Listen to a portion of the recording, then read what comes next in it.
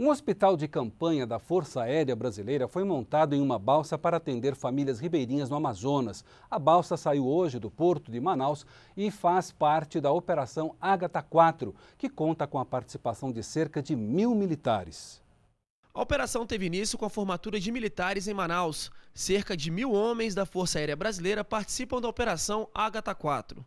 O objetivo da missão é realizar ações preventivas de segurança na faixa de fronteira, na região norte do país. São mais de 5 mil quilômetros.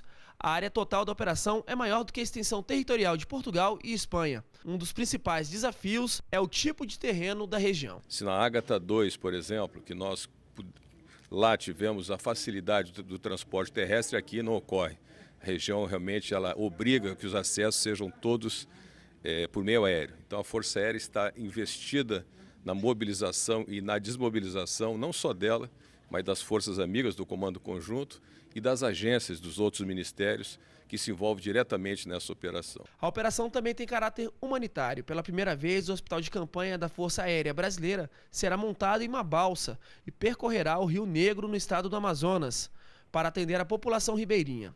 Serão feitos atendimentos em várias especialidades, como odontologia, dermatologia e pediatria. A Operação Ágata começa oficialmente amanhã. Aeronaves da Força Aérea vão patrulhar os céus da região norte em busca de voos ilícitos e de pistas clandestinas, além de apoiar a ação do Exército, da Marinha, da Polícia Federal e de outras instituições do governo federal, como a Agência Nacional de Aviação Civil e o IBAMA. E o prazo para o alistamento militar, que acabaria nesta segunda-feira, foi estendido para 31 de maio.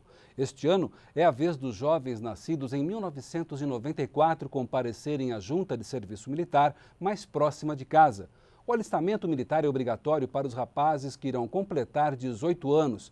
Em 2011, o alistamento foi feito por 1 milhão e 600 mil jovens. Desse total, 90 mil foram incorporados às Forças Armadas.